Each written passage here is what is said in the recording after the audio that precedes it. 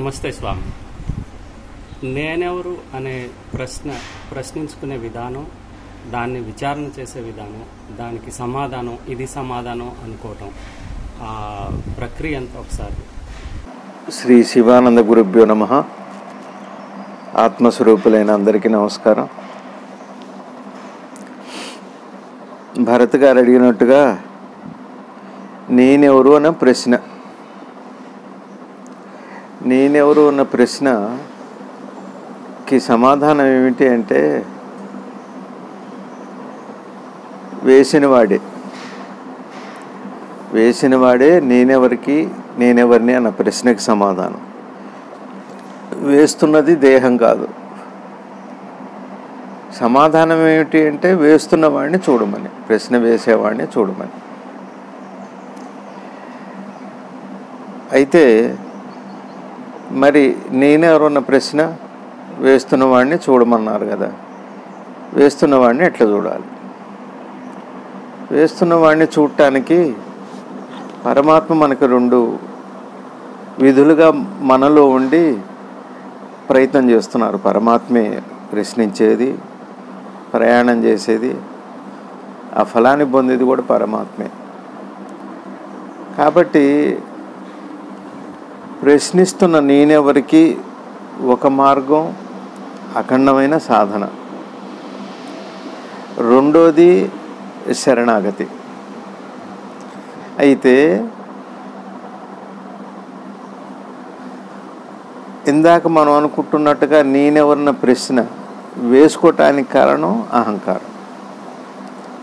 సమాధానం తెలియటానికి కారణం అహంకారం పోవటం. అంతే అడ్డు అహంకారమే అడ్డు. అందుకని ఇది శరణాగతి ఒక మార్గం అయితే అఖండ సాధన ఒక మార్గం తీవ్ర సాధన. ఇక్కడ మనం ఒక విషయం గుర్తుపెట్టుకోవాలి. నేనెవరు అన్న ప్రశ్న వేయాలి అనిపించటం కేవలం బౌద్ధ అనుగ్రహం గురు అనుగ్రహం. అట్లానే పరమాత్మ ఎందు దృష్టి రావటం పరమాత్మను తెలుసుకోవాలనటం పదం అది కూడా భగవంతుడి అనుగ్రహమే గురువు అనుగ్రహమే.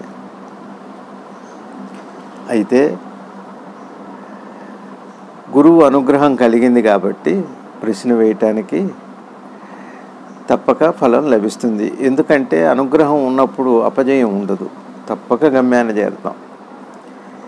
ఇకపోతే నేనెవరు అన్న ప్రశ్న వేసుకున్న తర్వాత చేయవలసిన పని ఏమిటి అంటే శరణాగతితో.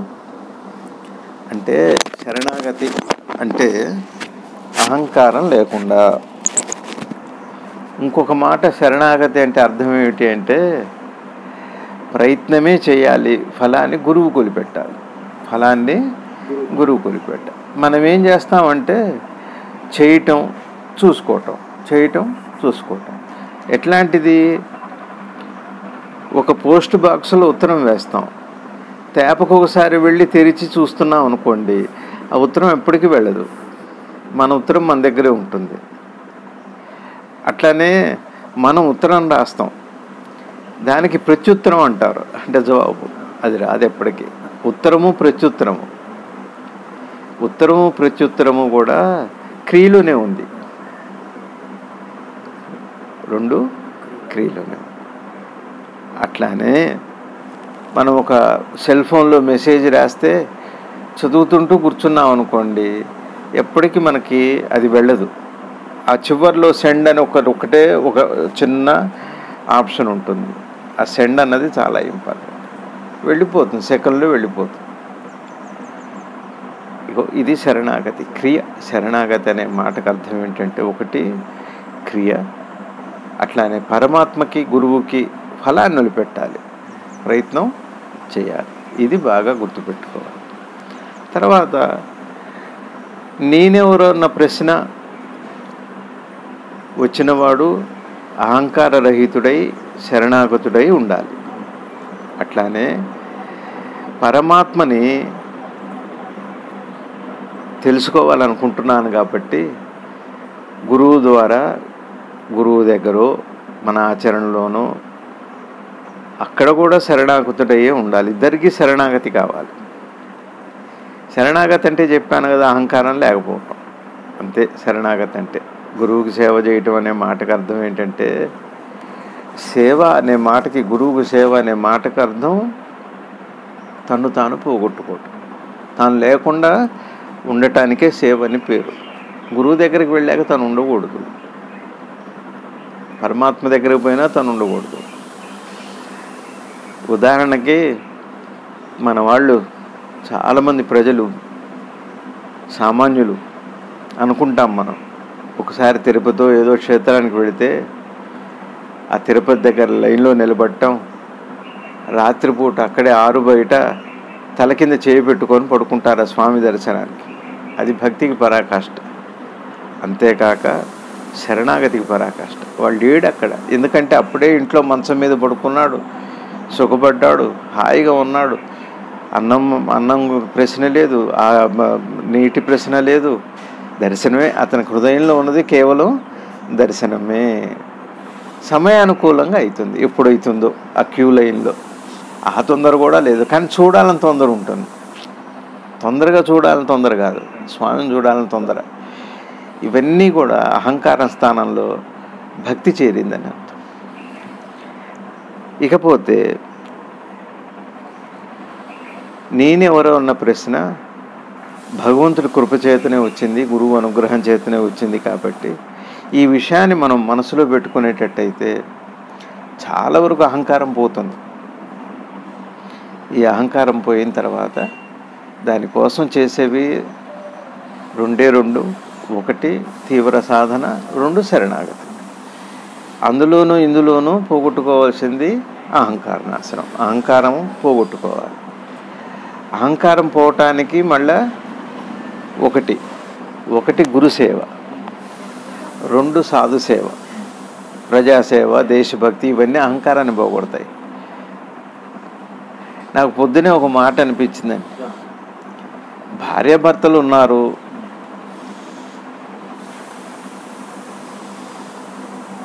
తల్లి మనకి జన్మనిస్తుంది. భార్య తనలో కలుపుకొని జన్మ లేకుండా చేస్తుంది అని అనిపించింది నాకెందుకు. ఎందుకు భార్యకి అంత గొప్ప స్థానం అంటే అహంకారం పోవటానికే భగవంతుడు ఒక ఏర్పాటు ఇద్దరిని ఒకటి చేశాడు. ఇద్దరు ఒకటి ఎందుకు అవుతారు అంటే ఇద్దరిని లివ్వని తెలియటానికి. అక్కడ మొదలైన ప్రయాణం పరమాత్మతో కూడా అట్లా అభేద స్థితికి తీసుకువెళ్తుందని అనిపించింది మనసుకి. అందుకని అందుకనే నేనెవరో ఉన్న ప్రశ్న కేవలం భగవద్ అనుగ్రహం చేతనే వచ్చింది అని గుర్తుపెడితే అప్పటికే అహంకారం లేదు. అది మర్చిపోవటం చేత నేను చేస్తున్నాను నాకు తెలియాలి అనుకుంటున్నాం మనం. అది మిస్ అవ్వటం వల్ల వచ్చిన బాధ ఇది. అంతేకాక ఇంకొక చిన్న విషయం చెబుతాను నేను. నేనెవరు అన్న ప్రశ్నకి సాధన విచారణ మార్గం. నాకు రెండు కళ్ళు ఉన్నాయి. ఈ కళ్ళ ద్వారానే నేను చూస్తున్నాను నేను. నేనే కాదు అందరూ కూడా. ఈ ప్రపంచం అంతా జీవరాశులతో కలిపి అందరూ కూడా కళ్ళతోనేగా చూస్తున్నారు. కళ్ళకే ఉంది దృష్టి ఉంది. దృష్టి అంటే చూపు. ఇక్కడ చూపు అట్లానే ఉంది అన్నీ మారిపోతున్నాయి. ప్రపంచం అంతా కదిలి వెళ్ళిపోతూనే ఉంది కాలం అన్నీ అన్నీ మారిపోతూనే ఉన్నాయి. ఈ మార్పునే కాలం అన్నారు. మార్పునే కాలం అన్నారు. కాబట్టి చూపేమో అట్లానే ఉంది దృష్టి అట్లానే ఉంది మారిపోతున్నటువంటి పరిస్థితులు పరిణామాలు అన్నీ మారుతున్నాయి. కాబట్టి చూపు నువ్వు మొదటి మెట్టులో చూపు నువ్వు. ఏమండి? చూపు మారట్లేదు అన్నది మనం చూడగలిగితే గ్రహించగలిగితే ఇది అందరూ చేయొచ్చు ఏం పెద్ద కష్టం ఇంకా ఒక ఒక రెండు మూడు నిమిషాలు కొద్దిగా నిమ్మళం చేసుకొని ఆలోచిస్తే నిజమేగా నా కళ్ళు అంతే ఇప్పుడు నాన్నని నా చిన్నతనం నుంచి చూస్తున్నాను నేను. నాన్నని వయసులో చూశాను నేను. నాన్నని ముసలితనంలో చూశాను నేను. నాన్న చనిపోవటం చూశాను. నాన్న ఎత్తుకొని ముద్దాడింది చూశాను నేను. చేయబట్టి నడిపించింది చూశాను నేను. ఇప్పుడు ఎత్తుకోలేక ఆత్మీయంగా స్పర్శించటం చూశాను నేను. ఈ చూస్తున్న చూపట్టనే ఉంది. నాన్నలో మార్పులు వచ్చినాయి. అట్లానే ఎత్తుకున్న నన్ను చిన్నవాడిగా ఉన్నాను. అట్లానే నడిపించుకునేటప్పుడు పెరుగుతున్నాను నేను. నాన్న పెద్దవాడై స్పృశించే టైంకి ఆత్మీయంగా దగ్గరికి తీసుకొని చేయి పట్టుకునే టైంకి నేను పెద్దవాడిని అయితే ముసలివాడిని అవుతున్నాను. చూసే చూపు మాత్రం అట్లానే ఉంది. చూస్తున్న చూపు ఇది ముందు మనకి అవగాహనలోకి వస్తే విచారణ చాలా వరకు అయిపోతాం. ఇక్కడ భగవాన్ బోధ మనకు ఉపయోగపడుతుంది. ఇప్పుడు ఈ కళ ద్వారా చూస్తున్నది ఎవరు? ముందు ఏం చేసాం మనం? ప్రపంచంలో కానీ మనం చూస్తున్న ప్రతిదీ మారుతుంది. ఒక చూపు మాత్రం మారట్లేదు. అన్న విషయం మనకు బోధపడేది. ఇప్పుడు రెండో ప్రశ్న చూస్తున్నది ఎవరు? ఎప్పుడైతే ఇందాక మనం అట్లా చూడటం వల్ల ఏమైంది? చాలా అహంకారం పోయింది కొంత వివేకం కలిగింది కొంత అవగాహన కలిగింది. అప్పుడు ఇక్కడ మనం చేయవలసిన పని భగవాన్ చెప్పింది ఏమిటి అంటే మితాహారము మిత వ్యవహారము ఇవి విధిగా అందరూ చేయాలి. ప్రతి సాధకుడు మితాహారము మిత వ్యవహారం. ఇక్కడ మా సద్గురు శివానంద గురుదేవులు వారు ఏం చెబుతారంటే మితాహారము అనే మాటకు అర్థం ఏంటి అంటే కడుపుకు సరిపడా తింటాం మితాహారం నాలికి సరిపడా తింటాం అమితాహారం అంటే రుచి. రుచి కోసం తింటే అమితాహారం. ఆకలి కోసం తింటే మితాహారం. చాలు ఇది. అట్లనే భగవాన్ చెప్పారు మితాహారం ఇది సాత్విక ఆహారం. అంటే ఏది నన్ను నా మనసుని చంచలం చేస్తుందో ఏది నన్ను విచలితుని చేస్తుందో నా కోపానికి ఇవన్నీ మనం చెబుతూనే ఉంటాం. కారం తిన్నాను నేను వెల్లిపాయ తిన్నాను. భగవాన్ చెప్పారు ఉల్లిగడ్డ వెల్లిపాయ కారాలు అవి వాటి వల్ల మనసు రజోగుణంలోకి వెళ్ళిపోతుంది. మనకి రజోగుణంలో వెళ్ళిపోతే ఎట్లా ఉంటుందంటే గురువుకు సేవ చేయాలని వెళ్తాం. గురువు సేవ చేస్తే బాగుండు అనుకుంటాం. ఇంతే అది అట్లనే ఉంటుంది. గురువు ఒదిగుంటాడు. మన మనసులో ఆలోచనలు పొదుగుతూనే ఉంటాయి. ఇది ఒక వ్యవహారం. ఇట్టంతకంటే ఏమీ లేదు. అంటే భగవాన్ ఆ మాట ఇది ఈ రెండు పెట్టుకొని ఇకపోతే హితము మితము అనే రెండు మాటలు. ఆ తర్వాత ప్రశ్నించుకునే విధానం నేనెవరిని ప్రశ్నించుకునే విధానం ఏమిటి అంటే ఇక్కడ నేనెవరు చూసే చూపు మారట్లేదు. చూస్తున్న ప్రపంచం మారుతుంది. చూపు ఒకటిగానే ఉంది. చూ- అందరి చూపు ఒకలానే ఉంది. దృష్టికి ఒకటేగా వేరువేరుగా కనపడటం వదిలిపెట్టండి. అసలు అమెరికా చూసే ప్రదేశాలు వేరే అట్లానే మనం హిమాలయాలో చూసే ప్రదేశాలు వేరే ఇక్కడ చూసే ప్రదేశాలు వేరే.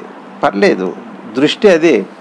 అయితే ఇద్దరు హిమాలయాలకు వెళితే ఎవరు చూస్తారో అడు చూస్తారు వాడికి అదే కనపడుతుంది. దృష్టి ఒకటే చూడటానికి కావాల్సిన ఏర్పాటు ఒకటే. దృష్టి మారట్లేదు. భగవాన్ ఏమన్నారంటే ముందు దృష్టిని అర్థం చేసుకుంటే చిన్నగా ద్రష్ట అనుభవంలోకి వస్తుంది అంటారు భగవాన్. ఇది సీక్రెట్ అది. కానీ దీనికి ఉపయోగపడేవేంటి? సాత్విక ఆహారము మిత వ్యవహారం. ఇది బాగా మనం గుర్తుపెట్టు కానీ స్వామి ఈ రోజుల్లో కుటుంబాల్లో ఈ సాత్వికత ఈ పవిత్రత లోపిస్తున్నాయన్నది అందరికీ కనిపిస్తున్న విషయం. దీని విషయంలో ఎలాంటి పరిష్కారాలు తీసుకోవాలి? ఇవాళ ఈ రోజున వృద్ధాశ్రమాలు బాగా వస్తున్నాయి. అంటే తల్లిదండ్రులు పిల్లలు బాగుండాలి బాగా సంపాదించాలని కోరుకుంటారు. మంచిదే అది. అట్లానే పిల్లలు తల్లిదండ్రుల్ని వదిలిపెట్టి ఏదో సంపాదనకు వెళ్ళిపోతారు. ఆ వదిలిపెట్టడం చివరికి అమ్మ నాన్న అనేం భేదం లేదు. డబ్బు వచ్చినప్పుడు ఎప్పుడైతే మా గురువుగారు ఏమంటారంటే ధనంలోనే మోహం ఉంది అన్నారు. ఆ మోహం లక్షణం అది దాని లక్షణం అది. సంపాదించొద్దని చెప్పట్లేదు సంపాదించకూడదా అని చెప్పట్లేదు. కానీ జన్మకి కారణమైన నేను పొద్దున ఎవరితోనో ఇదే పంచుకున్నాను నేను. ఏమంటానంటే మీకు జన్మనిచ్చింది పరమాత్మ. నీకు తోడుగా పంపిన భర్తని జన్మనిచ్చింది ఇక్కడ మీ తల్లిదండ్రులు అక్కడ వాళ్ళ తల్లిదండ్రులు. అట్లానే మీ అందరికీ కూడా కలిపి జన్మనిచ్చింది పరమాత్మ. కాబట్టి ఇందులో ఎవరిని మనం తీసేస్తాం? అందుకని తల్లిదండ్రుల్ని కాదనుకొని వెళ్ళటం అంటే తల్లిదండ్రులు కావాలని అనుకుంటారు పాపం. తల్లిదండ్రుల ప్రేమ అట్టనే ఉంటుంది. చూద్దాం అనుకుంటారు చూడాలనుకుంటారు దగ్గర ఉండాలనుకుంటారు. ఎంత వాడైనా చివరి క్షణంలో తన కొడుకు దగ్గర ఉంటే బాగుండని కోరుకుంటాడు. ఈ సహజం అసలు అది. ప్రాణ లక్షణం అది. కానీ మరి గురువు కూడా తన ఆర్తుల్ని భక్తుల్ని తన దగ్గరికి రావాలి తన్ని ఆశ్రయించిన వాడిని కోరుకుంటుంటాడు. మనమే వదిలిపెట్టి వెళ్ళిపోతాం.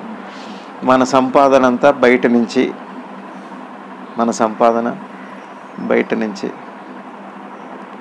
ఉన్న ధనం అంతా మన లోపలుంది. లోపల దాని నిధి అంటారు. గుణనిధి. లోపలేమో అదే పరమాత్మ సన్నిధి. గుణం వస్తే నిధి వస్తుంది పరమాత్మ సన్నిధి కూడా వస్తుంది. గుణం చాలా ప్రధానం. అందుకని చక్కగా ఈ సమాజంతో సత్సంబంధాలతో జీవించడం అమ్మ నాన్నతోనే మొదలవుతుంది. అది సమాజం అంటే మన పక్కింటి వాళ్ళకి మన సమాజం మనకి పక్కింటి వాడి సమాజం. అంటే అందులో అమ్మ నాన్న లేరా? సమాజము అంటే అదే అదేగాక సమాజం అనే మాటకి అర్థం ఏంటంటే అందరూ కోరుకునేది అని. ఒకప్పుడు అందరూ పరమాత్మనే ఆశ్రయించారు. పురుషార్థమని ధర్మార్థ కామ మోక్షాలని ఉన్నాయి మనకి. ధర్మము మోక్షం అనేది ఏదైతే ఉందో అది ఇవాళ పోయింది అని అంటున్నారు బాధపడుతున్నారు. అందుకని ఈ నేనెవరిన ప్రశ్నకి నేను చెప్పాను కదా ముందు చూస్తున్న చూపు ఎట్లా ఉంది? చూచే చూపు అట్లానే ఉంది.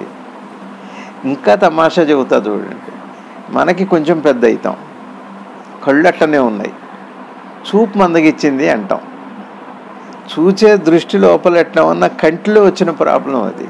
అదే అట్లా లోపలికి వెళ్ళి దృష్టి నుంచి ద్రష్టకు వెళ్ళటమే జ్ఞానం అంటే. ఈ విధంగా నేనెవరిన ప్రశ్న రావటానికి పరమాత్మే కారణం. చేయటానికి కావలసిన శక్తినిచ్చేది పరమాత్మే. ఆ తర్వాత అనుభవాన్ని ఇచ్చేది కూడా పరమాత్మే. ఈ విషయం మనం ఎప్పుడు మనసులో పెట్టుకొని నడుస్తుంటే అదే గురు అనుగ్రహం. అనుగ్రహం అనే మాటకు అర్థం పరమాత్మ మనకి అనుభవాన్ని ఇవ్వటానికి గురు రూపంలో వచ్చారు. పరమాత్మకి ఆయనకి ఏమీ భేదం లేదు. ఈ విషయం మనం పెట్టుకుంటే నేనెవరన్న దానికి సమాధానం తప్పక అందరికీ వచ్చి తీరుతుంది. ఎక్కువ కాలం ఏం పట్టదు. దేశకాలాలు లేవు. ఏమీ లేవు.